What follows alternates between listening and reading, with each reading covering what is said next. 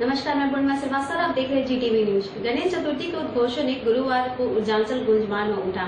इस अवसर पर विभिन्न परियोजनाओं के आवासीय परिसरों पर पंडाल में देर शाम तक प्रतिमा की स्थापना व पूजन का कार्यक्रम पूरी श्रद्धा के साथ किया गया। श्रद्धालुओं ने पूजा अर्चना की तथा गणपति जी की आरती की गई। जागरण के दौरान पूरा मंदिर परिसर गणपति पप्पा मौर्य के नारों से गूंज उठा।